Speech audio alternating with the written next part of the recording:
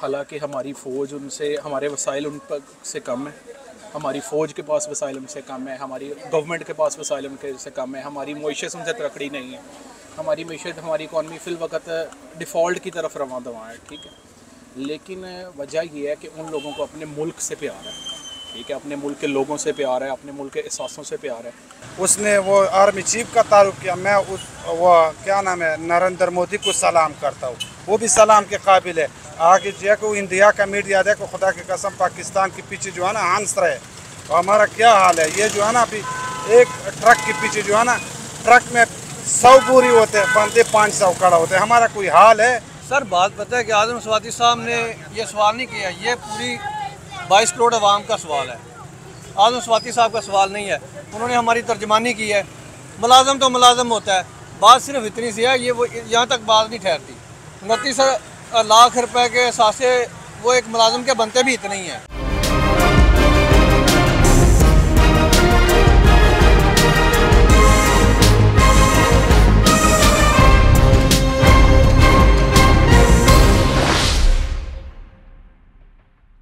असलम नाजीन आप देख रहे हैं मल्टी न्यूज़ नेटवर्क चैनल और मैं हूँ आपका होस्ट असल में। असलम वालेकुम सलाम जी। आपका नाम? मोहम्मद नवीद महर। नबी साहब पाकिस्तानी सेनेटर आज़म सवाती साहब ने Indian army chief Manoj Pande साहब की तारीफ़ करते हुए कहा है कि जबकि उनकी छह गुना बड़ी आर्मी है हमारी आर्मी से हाँ जी। उनके टोटल असासे जो है वो उनतीस लाख है। हमारे आर्मी चीफ के जो असासे हैं वो अरबों रुपए में है। क्या कहेंगे इस बारे में? सर बात पता है कि आज़म स्वाति साहब ने ये सवाल नहीं किया ये पूरी बाईस करोड़ आवाम का सवाल है। आज़म स्वाति साहब का सवाल नहीं है। उन्होंने हमारी तर्जमानी की है। मुलाजम तो मुलाजम होता है। बात सिर्फ़ इतनी सी है, ये वो यहाँ तक बात नहीं ठहरती। उनतीस लाख रुपए के सासे वो एक मुलाजम के बनते भी इतने ही हैं। ईमानदार से मैं मुलाजम हूँ।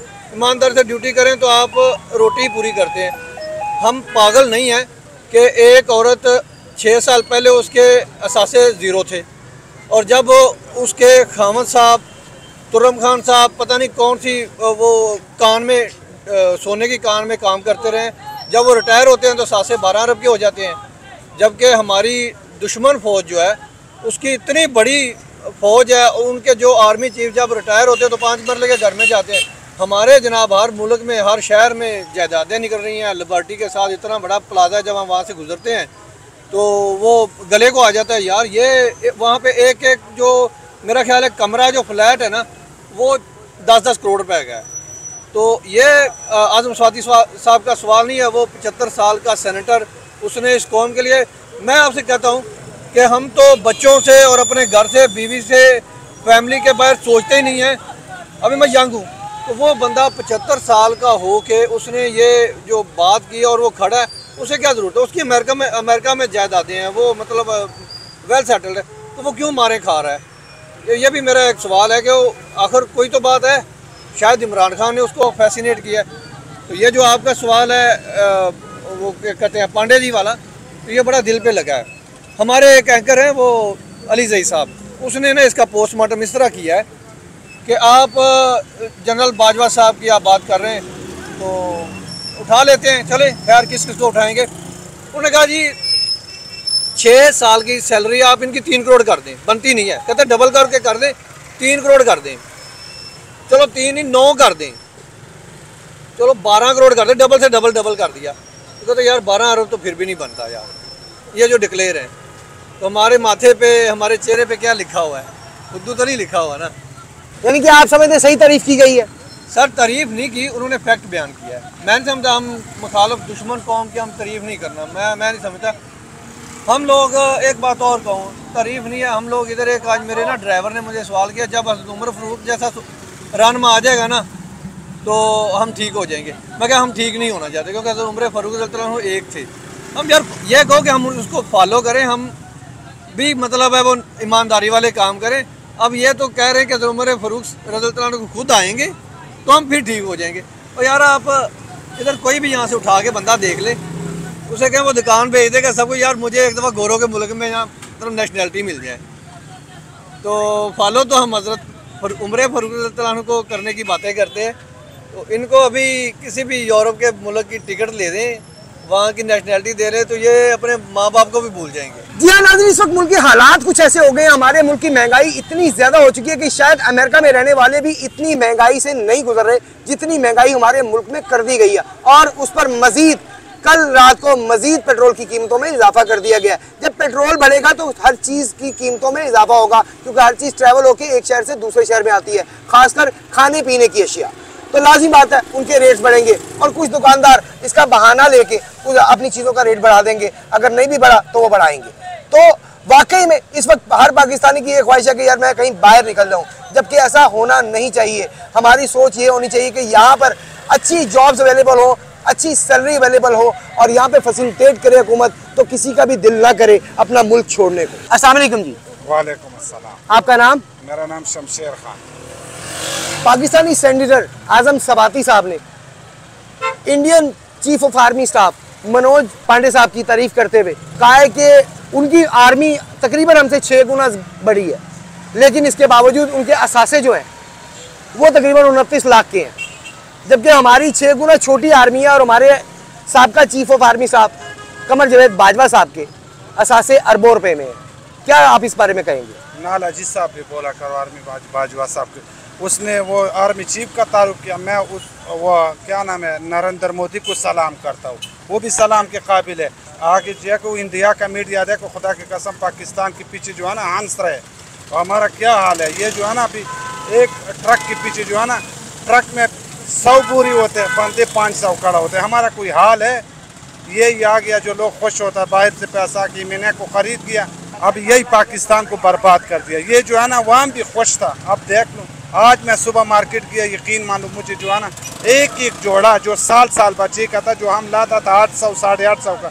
वो हज़ार और एक हज़ार पचास और एक हज़ार तीस का था साल का जो था जो चाइना वाला है। इतना महँगा गरीब बंदे क्या करेगा? भाई हम भी नहीं ला सकते। खाली आ गया बस वापस आ गया। रिक्शे वाले ने इधर से छः सौ रुपये दिया उधर से भी छः सौ रुपये ले लिया। जी किया और वही हज़ार बारह सौ रुपये नुकसान करके खाली आ गया बस। यही हाल है हमारा मुल्क और क्या करेगा? अब जो है ना पेट्रोल सुनने में आया महँगा हो रहा है। हो गया। हो गया। और ये लोग जो है ना आवाज़ निकालने के बजाय पेट्रोल पंप पे पहुँच जाते हैं। ये हमारा अवाम यहाँ पहला मैं बाकी आवाम, यही हाल है हमारा। हम क्या करेंगे बस यही जो है ना, हुकूमत जो है ना, हमको खाएगा। उसका जो है ना, खुशी जो है ना, ईद लंदन में जायदाद लंदन में, बच्चे लंदन में, ईद लंदन में, शॉपिंग लंदन में, हुकूमत पाकिस्तान में। बस यही है। अब, अभी जो है ना, एक और बात सुना मैंने। खबर के ऊपर भी जो है ना, टिकस लग गया वो वो जो है ना, लाश है, उसको टुकड़े टुकड़े करना, शापर में रखना पड़ेगा अभी, आज के बाद।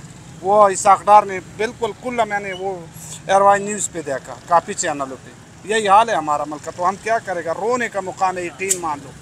तो ये जो है ना, ये अवाम को जो है ना, इसी आइशी कर रहे हैं हमारे ऊपर। एक एक पर जो है ना, इसका लाखों डॉलरों का है। और हम जो है ना, इधर मर रहे एक ट्रक के पीछे जो है ना, सौ तोड़े पड़ा होते आटे का वो भी दस किलो वाला। और पाँच सौ बंदे लेन पे लगा होते रोने का मुकाम है। यही हाल है, हम क्या कर सकते हैं? बस अगर हम आवाज़ नहीं उठाएगा और ऐसा सोएगा का ना, ये ये आवाम जो है ना, ये हुक्मरान हमारे ऊपर बहुत कुछ करेगा। ये पाँच सौ तक पेट्रोल अगर एक जगह पे खड़ा करेगा, वो भी सही होगा। आज मार्केट गया वो बोलते अगर एक जगह पे खड़ा होगा तो फिर भी सही था। आज ढाई सौ है कल दो सौ अस्सी है एक जगह पे खड़ा नहीं था, लोगों ने माल स्टॉक कर दिया। भाई बोलते हैं, वो बेचना नहीं है। ये महँगा हो जाएगा, कल मैं अगर चीज़ ढाई सौ का बेचूँगा, कल मैं दो सौ अस्सी का लाऊँगा तो क्या फ़ायदा? मैं अपना रख देगा लोगों ने माल स्टॉक कर दिया यही हाल है हमारा। जी हाँ इसमें कोई शक नहीं कि आज इंडिया का मीडिया जो है वो पाकिस्तान का मज़ाक उड़ा रहे हैं। कोई तर्स खा रहा है कोई मीडिया तो कोई मज़ाक उड़ा रहा है। क्योंकि हमारे हालात ही ऐसे हो चुके हैं हमारे मुल्क के इस वक्त कि उनका हक बनता है कि वो हमारा मज़ाक उड़ाएँ और वो अपने हक को इस्तेमाल भरपूर तरीके से कर रहे हैं। अस्सलाम वालेकुम। वालेकुम आपका नाम? उमैर। उमर साहब आज सेनेटर आज़म सवाती साहब ने जी। Indian chief of army staff की तारीफ़ करते हुए जो मनोज पांडे साहब है उनकी तारीफ़ करते हुए कहा कि वो उनकी छः गुना बड़ी तकरीबन आर्मी है हमसे और उनके असासे जो टोटल वो उनतीस लाख है। जबकि हमारे Pakistani retired chief of army साहब कमर जावेद बाजवा साहब उनके असासे जो हैं वो अरबों रुपए में। मिलियन क्या कहेंगे इस बारे में? जी मैं इस बारे में ये कहूँगा कि देखें हालाँकि हमारी फ़ौज उनसे हमारे वसाइल उन पर से कम है। हमारी फ़ौज के पास वसाइल से कम है, हमारी गवर्नमेंट के पास वसाइल के से कम है, हमारी मोइशत उनसे तरकड़ी नहीं है। हमारी मीशत हमारी इकॉनमी फिल वक्त डिफ़ॉल्ट की तरफ़ रवा दवा है, ठीक है? लेकिन वजह यह है कि उन लोगों को अपने मुल्क से प्यार है, ठीक है? अपने मुल्क के लोगों से प्यार है, अपने मुल्क के एहसासों से प्यार है। क्योंकि कोई भी आर्मी का आर्मी चीफ हो जाए या कोई भी हमारा पॉलिटिकल जो हमारे ये लीडर्स हैं, जब ये करप्शन करते हैं तो ये खाली एक घर को नुकसान नहीं पहुँचाते, ये हमारे पूरे मुल्क को, हमारे पूरे पाकिस्तान को नुकसान पहुँचाते हैं, ठीक है? जब हमारे ऊपर पिछले पैंतीस साल से जो गवर्नमेंट पाकिस्तान में जो भी आई, उसने हमारे मुल्क को लूटा, ठीक है? और जो भी हमारे मुल्क को लूटेगा, उसके ऊपर जो आर्मी चीफ बैठा होगा, क्या अगर वो खुद ईमानदार होगा तो वो उनको कैसे लूटने देगा, ठीक है? अगर वो उनको लूटने देगा, इसका मतलब वो भी यही है कि जैसे हम, हमारी पॉलिसी है कि खुद भी खाओ और उनको भी सबको खाने दो।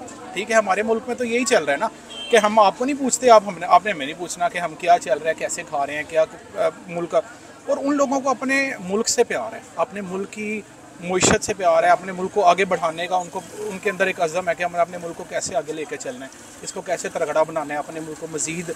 देखें ना उन्होंने थोड़ी दिन पहले स्पेस के ऊपर वो भेजा उनके लोग गए, ठीक है। हालाँकि वो नाकाम हो गए, लेकिन हमारे मुल्क में अभी तक बेरोज़गारी, महँगाई, गुरबत, इन चीज़ों से हम बाहर नहीं निकल सकते, ठीक है। बाकी जो पॉजिटिव के लोगों के काम की तरफ़ तो हम बाद में जाएँगे ना। पहले हम अपने मुल्क में जो गुर्बत है मेन मसला जो दिन ब दिन बढ़ता जा रहा है, महँगाई का जो मसला है, जो दिन ब दिन बढ़ता जा रहा है। अभी ये पेट्रोल कल आप देख लें, बाईस रुपये लीटर उसमें इजाफा हुआ है। पहले ही लोगों के मसाइल नहीं हल हो रहे, लोगों के खाने पीने के मामला नहीं हल हो रहे। महँगाई जो है, वो दिन ब दिन अरूज पे आती है। ये इम्पोर्टेड जो गवर्नमेंट आई थी, ये जब इमरान खान ने कोई भी पॉलिसीज़ बनाते थे तो इसके हमेशा ख़िलाफ़ होती थी कि ये ऐसे है ये आईएमएफ के हाथों बिक गया, इसका ये हो गया। अब क्या हुआ है? अब आप आईएमएफ से वो बैक थ्रू डीलें कर रहे हैं, उनके एक एक मिलियन डॉलर के लिए अब उनके पाँव पड़ रहे हैं कि हमें एक मिलियन डॉलर दे दें क्यों दे दें ठीक है, पहले अब इमरान खान को गलत कहते थे, अब अब उसकी पॉलिसीज़ को पूरी दुनिया, जो हमारे वर्ल्ड इकोनॉमिक फॉर्म्स जो इस तरह के इदारे हैं, वो इसकी तारीफ़ें कर रहे हैं, ठीक है? तो लेकिन ये देखें ना, ये हमारे मुल्क में अपने लोग ही ठीक नहीं हैं। अगर हमारे मुल्क के पॉलिटिकल जो पार्टी हैं उनके जो सरबराहान हैं वो अपने मुल्क की सोचें इकट्ठे होकर बैठ जाएँ एक जगह पे और सोचें कि हमने अपने मुल्क को बेहतर कैसे करना है। तो हम हम भी उनकी तरह हमारा मुल्क भी तरक्की कर सकता है। जब हर किसी ने अपनी जेबों का सोचना है तो फिर ऐसे कैसे तर, इस पर कोई कुछ भी नहीं हो सकता। जी हाँ अभी रिसेंटली बाईस में पेट्रोल की और कीमत बढ़ा दी गई है और सुनने में ये भी आ रहा है कि तीन सौ रुपये तक इसकी कीमत जाएगी, जाएगी। अगर हम इस्लाम की बात करें तो हमारे नबी वसल्लम ने जो हमें तरीका बताया हज़रत अली ने जो तरीका बताया रज़ी अल्लाह तु ने वो ये बताया कि जो चीज़ महँगी हो जाए उसे तीन दिन के लिए इस्तेमाल उसका छोड़ दिया जाए। लेकिन हमारे यहाँ पर प्रॉब्लम ये होती है कि जब पता चलता है पेट्रोल महँगा हो रहा है तो हम टैंकियाँ भरवाने चले जाते हैं। ये है हमारा एहतजाज यहाँ तक है हमारा एहतजाज।